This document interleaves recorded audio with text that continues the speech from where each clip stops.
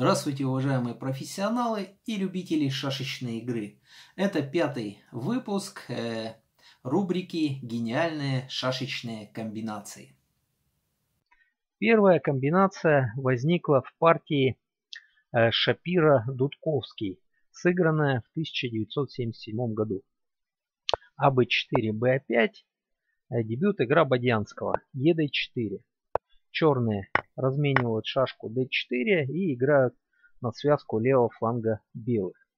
Бой на g5. Белые также размениваются и бьют на поле f4. Далее в партии gf6, hg3, hg5, b3, de5. Ну, практически все форсировано. bc5. Ну и в этой позиции обычно играют hg7. Э, белые здесь обычно меняются, cb6. Бьют на поле a6. Черные также меняются, ef4. Ну и создается позиция с преимуществом у черных, но ничья за белых достижима. Все это было сыграно миллион раз.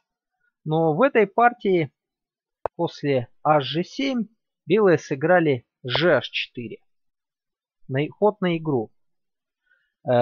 Э, черным в этой позиции надо было играть g6, вынуждая белых делать единственную ничью. Например, de3, cb6, gh2, fe7. Черные построили ударный кулак на своем левом фланге, но все-таки ничья за белых есть. cd2 и черные подрывают пункт c3 ходом АБ4. Белые бьют на c7, э, черные выбивают шашку d4 и затем бьют c7, э, d8 на f2. Белые бьют на g3, у белых страшная позиция, но ничья есть. Такая ничья АБ6 и в этой позиции надо сделать точный ход b5 все остальное проигрывает. Теперь у черных есть два хода. Если черные играют bc5, тогда мы жертвуем шашку и играем аб6. Ну, позиция, несмотря на то, что у черных лишняя шашка, на самом деле равная. То есть черным лучше всего отжертвовать обратно лишнюю шашку ходом gf4. Ну и возникает равная позиция.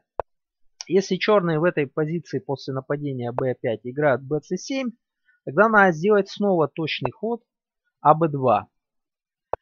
Теперь черная играет bc5, мы bc3 и на ход cd6 жертвуем шашку gf4 и нападаем cd4. Заходим в любки. Ну как бы черные не играли, скорее всего ну, э, последует ef2 бьем. Ну и партия заканчивается ничьей. Такая сложная ничья была у белых. Но черные в партии ошиблись. Они сыграли gf4. Не сильнейший ход. На самом деле возникает равная позиция. Белые подкручивают дальше. Играют cd6. Ну и в этой позиции еще была ничья. Надо было сыграть э, gh6 с равной игрой. А черные подумали, что они выигрывают шашку. И сыграли de7. А здесь уже белые проводят неожиданную и очень красивую комбинацию. Можете поставить видео на паузу и попытаться найти выигрыш за белых. Белые играют d3. Ну, на c5 бить бесполезно, поэтому черные бьют f на b4. Тогда бьем на поле c5, черные бьют на поле c3, и мы играем hg5. Делаем присоску, так называемую, или контур-удар. Ну и как бы черные не били, допустим, на h4 играем cb2, бой на e5 и прорываемся в дамки на поле h8 с выигрышем. Вторая комбинация это из творчества шашиста по имени Ивацка. Э, данная миниатюра э, создана в 1974 году. Очень красивая и неожиданная комбинация как говорится, и один в поле воин. То есть у белых после проведения комбинации останется всего лишь одна шашка. Но тем не менее они побеждают.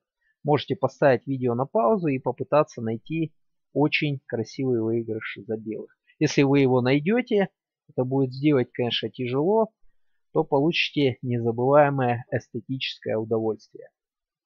Белые играют ef2. Черные бьют.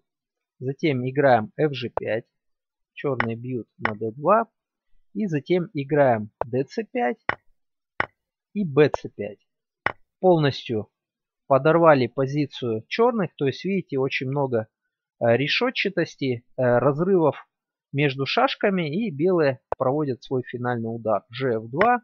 И, как говорится, внимательно следите за руками. Бьем вот по такой траектории. Так.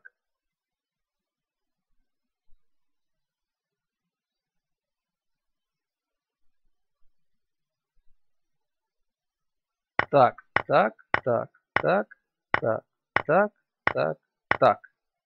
И дамка белых обрезает шашки черных от походов дамки и легко выигрывает. Вот такая гениальная комбинация от шашиста по имени, э, по фамилии Ивацка.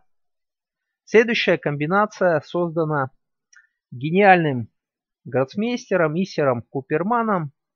Но, как говорится, его гениальность компенсируется тем, что он э, провел очень много договорных матчей в шашках. Как говорится, это доктор зло в русских шашках, но тем не менее комбинация гениальная. Создана в 1945 году. Белые начинают и выигрывают. Очень неожиданный механизм, комбинации. Кстати, есть э, несколько вариантов. Белые начинают и выигрывают ходом GH4. Ошеломляющее нападение. У черных есть два хода. EF6 и GF4. Давайте разберем оба. Если черные играют EF6, тогда белые также неожиданно побеждают. Играют DE5 и бьют именно на поле F6. Затем играют CB4 пропускают черных дамки, затем cb2 и прорываются в дамки и празднуют победу. Это первая тема. Уже красиво, обратите внимание. Если черные видят это и меняются gf4, ну любому здравомыслящему человеку в первую очередь э, пришел бы в голову такой ход. Тогда белые здесь э, проводят комбинацию ходом de3 черные бьют, две шашки. Затем играем fg3, черные бьют на e3. Бьем на c5, черные бьют на d4. И затем играем gf4. И красиво снимаем 4 шашки черных с полным разгромом. Если черные это видят, и после хода gf4 бьют на, не на f4, а допустим на поле э, g1 прорываются в дамки, то тогда белые э, выигрывают не менее красиво. Играем cd4. Ну и как бы черные не били, тут без разницы, допустим, на f4. Играем bc3, создаем ударную колонну. Затем э, cb4, черные бьют. И совершаем удар по кругу с поля d2. И дамка возвращается на поле d2. Гениальная комбинация. Очень красиво. Ну и последняя э, комбинация на сегодня. Она э, возникла в партии э, гроссмейстера Юрия Кириллова и э, гроссмейстера Николая Васильевича Абацива. Партия играна, играна в 1988 году. GH4, DE5, HG3, CD6. Вот такая жеребьевка выпала соперникам. И белые начинают окружать центр черных. EF4. Лучше всего укрепиться на поле b5 и белые играют d3. АБ6, АБ4. То есть, видите, возникают обоюдные связки, но здесь связки в пользу белых. Черным для достижения ничей надо играть очень точно. БЦ5, БА3. ДЦ7. Черные создают кулак для последующего размена на поле D4. Белые играют GH2. Черные меняются. ЕД4. Э, ну и здесь в партии э, черные ошиблись. Черные побили на поле c3, а надо было бить на поле d4. И здесь э, черные могли достичь ничьей. Покажу несколько вариантов. Белые могли ответить cd2, бой-бой. И здесь важно играть именно ef6. Хочу обратить ваше внимание, что ход gf6 уже также проигрывает. Например, аб2, fe5, ед2, hg7, b5, gf6, белые меняются назад ходом э, bc3, и э, возникает очень неприятная позиция за черных. Кажется, что ничья не за горами, но на самом деле ее нет. Например, fg7, cb2. Видите, все время нельзя ходить э, ед4 из-за того, что белые сыграют ef4 и останутся с лишней шашкой.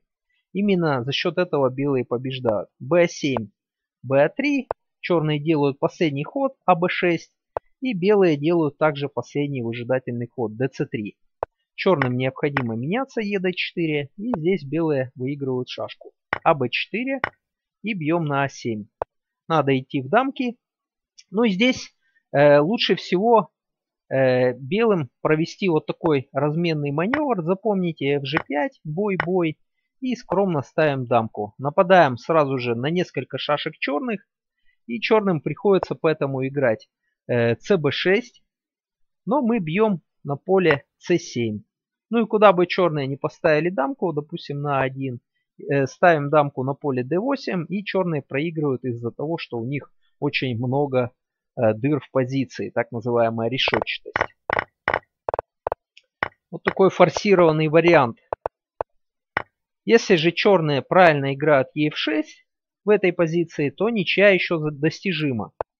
АБ2, размен, FG5, другого нет. GH4 размен. И здесь важно сыграть именно FG7. HG7 уже проигрывает. Играем тогда B5, GF6, ED2.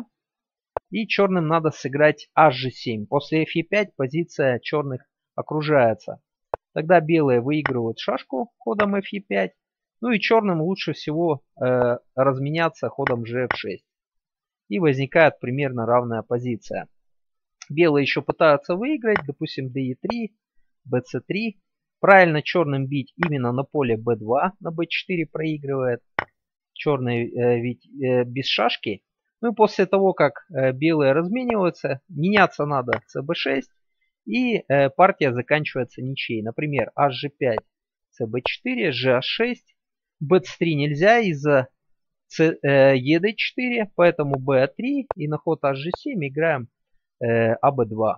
Ну и куда бы белые не пошли, э, возникает примерно равная позиция. Вот такая ничья, далеко не очевидная была в этой позиции у черных. Но черные в этой позиции ошиблись.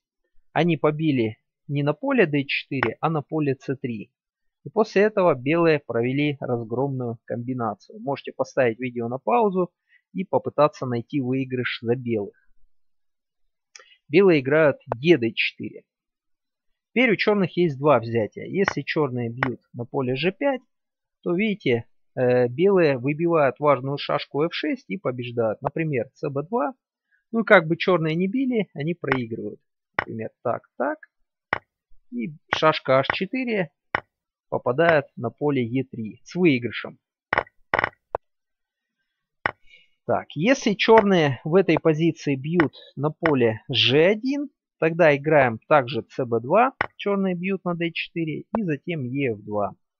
Черные бьют дамкой две шашки и затем мы также бьем э, дамкой три шашки и дамку соперника. И белые легко побеждают. Друзья, если вам понравилось данное видео, то обязательно ставьте Лукаса, подписывайтесь на канал, пишите комментарии, задавайте вопросы, если что-либо непонятно, отвечу на все вопросы. До свидания и давайте воевать только на шахматной и шашечной досках.